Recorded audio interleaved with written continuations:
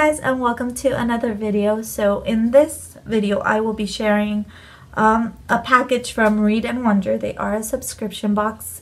Um, well I don't know if they're a subscription box or if they're like a monthly thing you can buy. Um, but uh, they had a Grishaverse related one so I went ahead and purchased it. So I'm going to share the items with you guys right now and a lot of them came in this cute little wrapping. Um, and yeah, let's get started. So the first thing is this beautiful art print. It says, um, her heart was a river that carried her to the sea. It's very beautiful. Then we've got um, a bookmark. I'm not going to read it. You guys can pause if you'd like. Otherwise, I'll be here forever. And this cute little art print in a postcard size.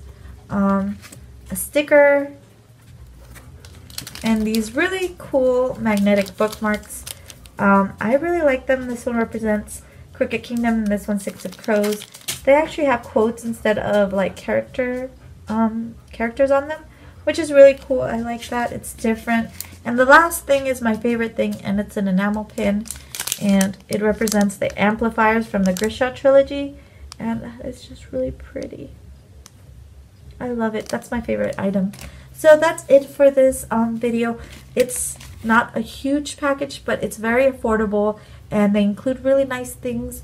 So I've purchased from them in the past and here is the spoiler card so you guys can take a peek at that and check them out if you'd like. That's their username right there. Read and Wonder.